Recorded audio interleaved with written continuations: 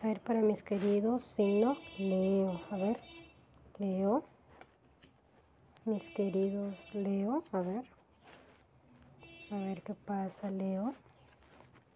Para el lunes 26 de septiembre. A ver.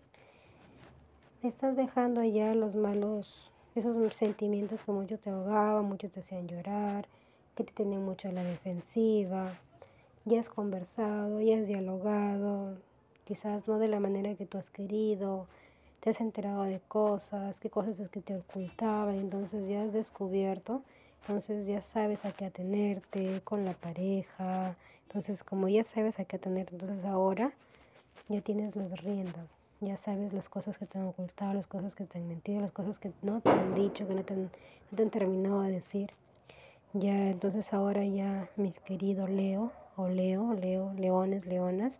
Entonces ya tu trabajo, tú ya estás recogiendo, estás recogiendo el trabajo que tú, que mucho tiempo has ido llevando, entonces esos esfuerzos, entonces ya va a haber esa recompensa, va a haber esa felicidad. Entonces ya estás preparado, preparadísimo, preparadísima para lo que viene. Entonces ya sabes las cosas tal y como son. Y eso ha llevado y ha conllevado que las tristezas se vayan yendo y que las mentiras que te han dicho tú las hayas descubierto.